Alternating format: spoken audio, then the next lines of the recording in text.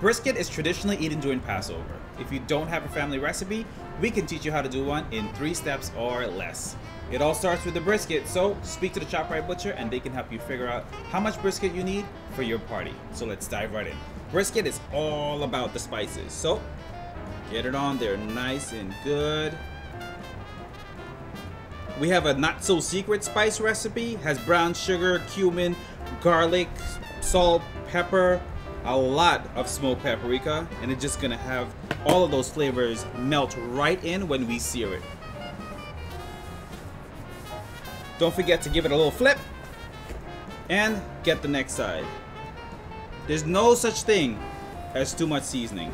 All of this seasoning is just gonna caramelize on top and it's time for step two, searing of the meat.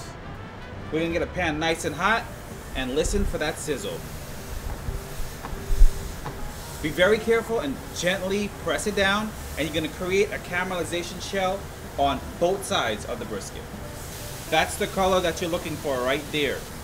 After you got a nice beautiful brown color on both sides, don't waste any of that excess spice. Dump it in there and it's time for step three, getting it into a pan and smothering it in all of that beautiful beef broth. When you dump in all of your beef broth, make sure that it comes up almost to covering the meat. Lastly, we have about four ounces of espresso. Espresso or a really, really strong coffee will help tenderize the meat and add a lot of deep, deep flavor to your broth. When you're sealing up, you have to make an airtight seal.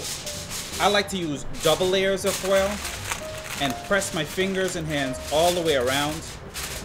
Make sure no air can get in or out. For this four pound piece of brisket, you're gonna wanna pop it in the oven for about three, three and a half hours at 350 degrees.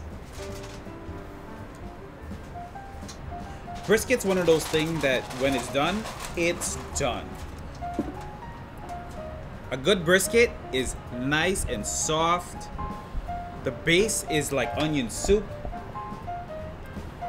Because you made sure that the container is nice and tight, all of the juices are locked in and it's just gonna give you a mouthful of flavor. This is the best part about the brisket. All the stuff at the bottom, the gravy, the carrots, the nice soft onions. I can't wait to make some onion soup out of this later. If you like what you taste, let us know if we did Bubbe proud. Follow us some more.